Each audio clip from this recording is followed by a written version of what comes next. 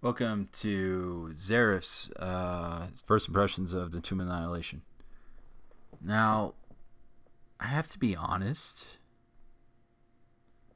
This is one of the few adventures that, when it was first announced, I wasn't really that excited for. But as time progressed and I slowly learned more and more about it, the more I fell in love with it. Now, did this book meet my expectations for my first impressions? I will have to say, with honesty, it blew them right out the water. Because this was.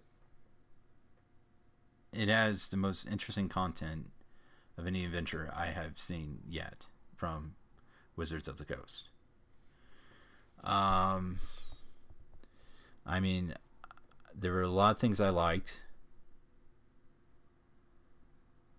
and a lot of things that made me go, "Oh man." But, um, yeah, um, that was what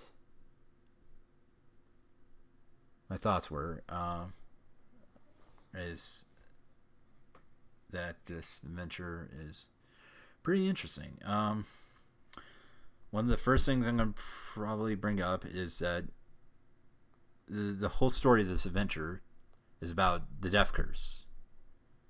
And,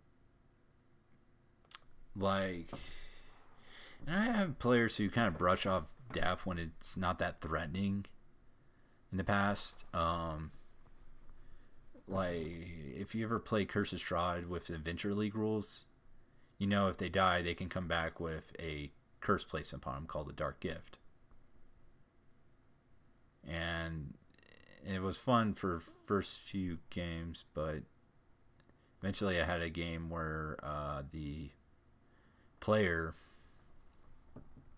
had a player who just brushed it off like there's no threat and did what he wanted and it was kind of out of control. So, but this isn't going to be a problem here because in this adventure, when you die, you don't come back. You have to roll a new character if you want to continue playing. Unless you're playing eventually, then you you're kind of out of the game until because when you make a character, you have to start from level one and I don't think this is a kind of adventure like uh, Storm King Thunder where you can just pop a level one character in and at uh, random and expect everything to be okay. Also, uh, they've talked about this,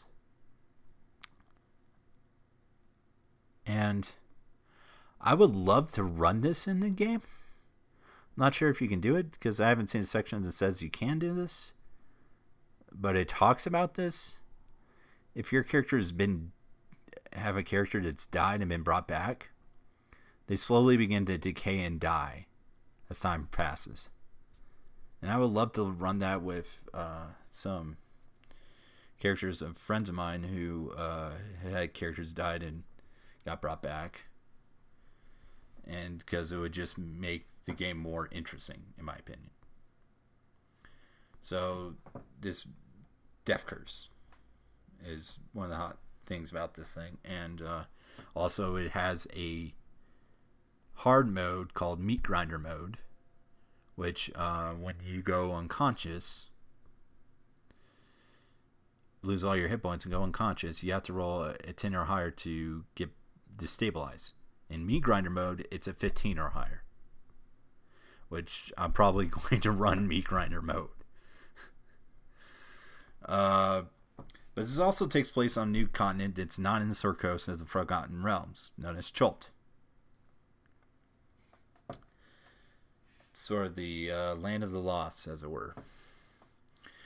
Uh, it is a very interesting continent. I love the uh, I love the people there. I love the culture, all surrounding it, like the culture of the Aarakocra, the culture of these goblins, the culture of the people of Port Nerizon.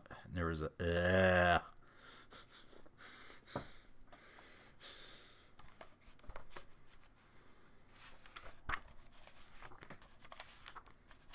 I'll second while I look it up.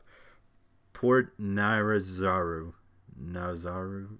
I'm not even saying that right, am I?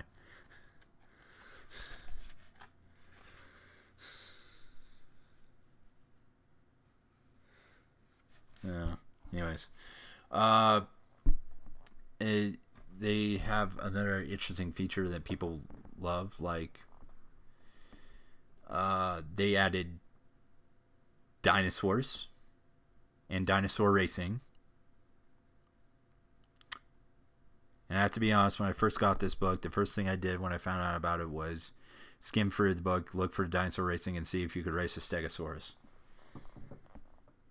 Um, that was one of the things that was disheartening about this book. Uh, they do have a other feature, but they have a limited of certain dinosaurs, and if you don't have a dinosaur like, for example, Stegosaurus, you uh, you have to race it under other on the list if the DM DM allows it.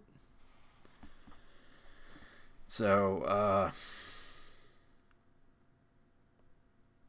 so that was a little disheartening, but it, I mean, technically, it's you can still race it. It's just under certain circumstances, and uh, the DM has to allow it, um, which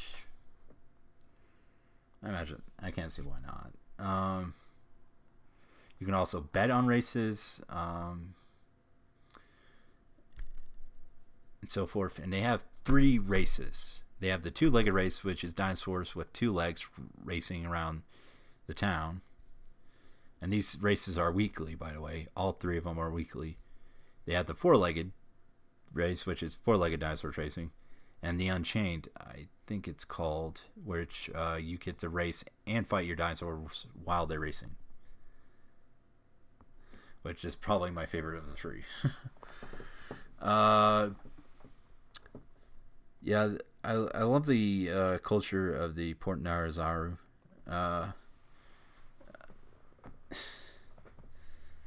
um, is they don't have a dynasty. They don't have kings or queens or lords or nobles like that. They have the merchant princes that rule it. So I thought that was very interesting. Uh, I love the uh, the the d- jungle is a full place you can explore,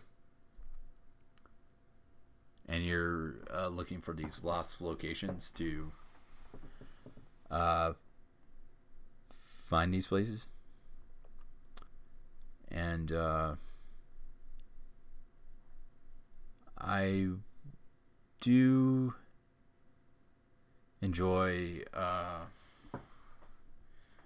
the uh, the, the design of these a lot of these ruins. Um, I won't give any away, but they have some features that I thought were really cool. Um, uh, as for plot, I didn't get much into the plot. I just this is a first impressions video, so uh, I do know it starts out with uh, what was that guy that Chris Perkins called a weird bird? Acererak. Acer Acererak, Acererak. Acererak. Sarac or Sarac or whatever. I'm just gonna be bad with names throughout this video. Uh, but um, uh, is he's basically got something called a soulmonger. It's capturing all these souls of people who've died and been brought back or died. And you don't know what he's up to, but he's here in Chult and you have to stop him and these undead legions. So, as way a lot of people pitched it, this venture's a lot like uh, Jurassic Park meets Walking Dead meets Indiana Jones. don't ask me how those go together. They just it it's it's its own thing. So I say, and it, it does work for its own thing. So it's uh, so uh, overall, I I think this has the potential to become a great adventure but I can't say anything for certain until I run it or have someone run it for me. Probably gonna have to do a little of both to get a good feel for it and see uh, strengths and weaknesses of it. But overall, there's um, I do have a few concerns about it, but I won't list them. If you ask me, I'll probably do another video about my concerns of it. Um, but it does have a lot of content, a lot of stuff. It's it's it's pretty cool, to say the least. It uh, this was a pleasant surprise by uh, Wizards of the Coast. So uh, that's all I got to uh, say about it. For now, these this is just my first impressions. So this is Zeros signing off.